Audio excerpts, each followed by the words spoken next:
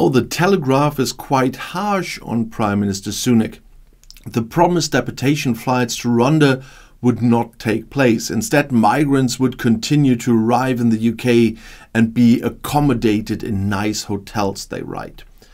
The failure on the migration issue will herald Sunak's political end, and his party could achieve the worst result the Conservatives have ever achieved in a general election. Has this or any other British government ever wasted so much money for as little impact as the millions that Rishi Sunak paid the French to supposedly prevent migrants from crossing the Channel? asks Ross Clark in his sharp comment in the British Telegraph. The allegations that Clark makes are clear. The number of migrants arriving in Great Britain by boat reached a new record in the first quarter of 2024. Over 4,600 somehow managed to escape the French patrols, he wrote. With better weather, they could soon expect significantly more. Rishi Sunak's government has done the worst thing on the issue of illegal immigration by making big noises and then failing to even begin to deliver, he wrote. And the tone is completely different now. Confidence that anything on this issue will change for the better has completely disappeared, and patience has been exhausted. One minister after another got upset about illegal immigration and told us that he would do everything to stop the boats. But the end result is even more illegal immigration than in the beginning, Clark wrote. Developments that Britain shares with other countries. Citizens of all countries want significantly less immigration.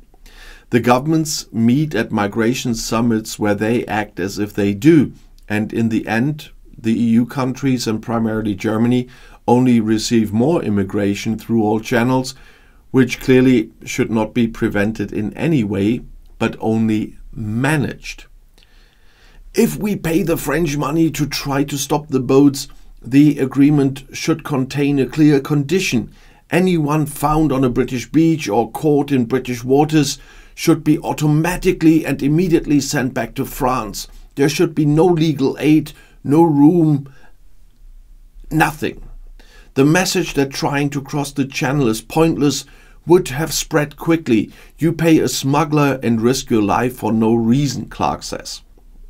Completely ignoring international law, but we're used to that. According to the current polls, the Tories, Sunak's party, are facing a serious defeat. The Business Standard writes the opposition Labour Party is 19 points ahead of the Conservatives on 45% of the vote, three points more than in the group's last poll at the end of last year. And the Sunday Times seat by seat analysis says the Tory party's prospects have fallen to a record low, meaning it is on track for its worst election result, winning fewer than 100 seats. Labour could win 468 seats, giving opposition leader Sir Keir Starmer's party a whopping 286 seat majority. And Sunak's Tories with that could deliver the worst result the Conservatives have ever achieved in a general election. Many European leaders agree that asylum seekers must apply for asylum in the country they reach first, and unless someone is fleeing Macron's regime, they have no reason to cross the channel.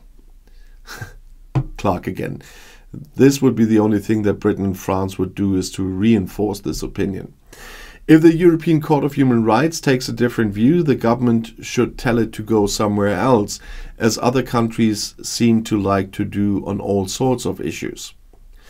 While the commentary in the Telegraph concludes that the promised flights to Rwanda will not go ahead as well.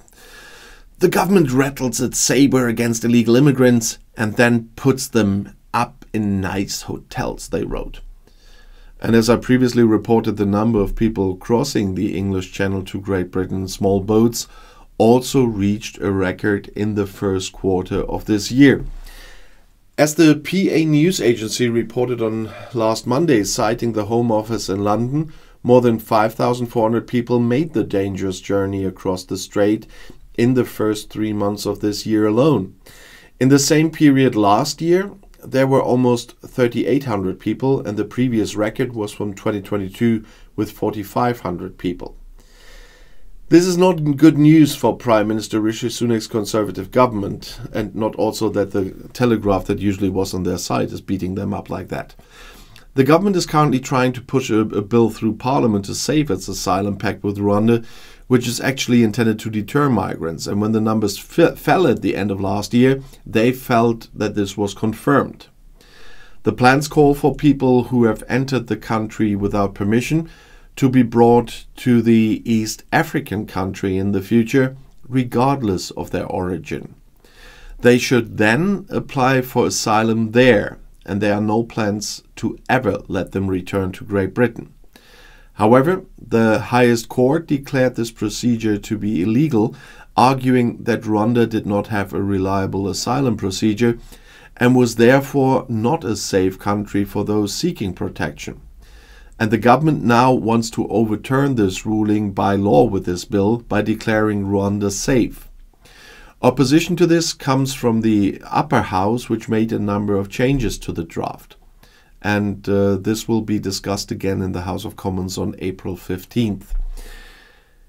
And as I said, the Conservatives could suffer a major defeat against the opposition Labour Party in the upcoming UK ele election, according to a new poll. According to the latest forecast from the Market and Opinion Research Institute YouGov, British Prime Minister Rishi Sunak and his Conservative Party could suffer a severe election defeat. That was reported by the news agency Reuters. And I talked about this before, but this is a decisive part now. We know that the elections will be in the second half of the year, but we don't know when. But the model that was developed by YouGov, which predicts results for individual constituencies based on estimated vote share, suggests that Sunak's Conservatives could win just 155 seats. Labour, on the other hand, could secure 403 seats in this uh, poll, according to the predictions. The British Parliament overall consists of a total of 650 seats. And these results now reinforce Labour's long standing lead in the polls. The YouGov forecast suggests Sunak continues to struggle to gain momentum following a tax cut last month and ahead of the local elections that will happen in May. Prominent Conservative MPs who could lose their seats include even Chancellor of the Exchequer Jeremy Hunt and former leadership candidate Penny Mordaunt, according to YouGov. For the survey, YouGov surveyed 18,761 British adults, so not just the thousand we are used to. And according to the Polling Institute, the method was able to correctly predict the results of the two previous general elections.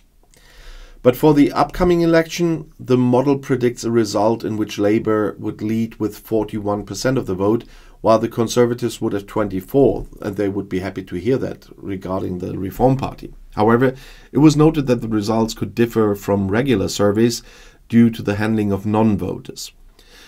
The Conservatives have been in government in different ways since 2010, but have had five different prime ministers during this time. And in recent years, Brexit and the scandal surrounding the handling of the COVID pandemic have particularly disrupted the British political landscape, and not to forget the short time rule of Liz Truss.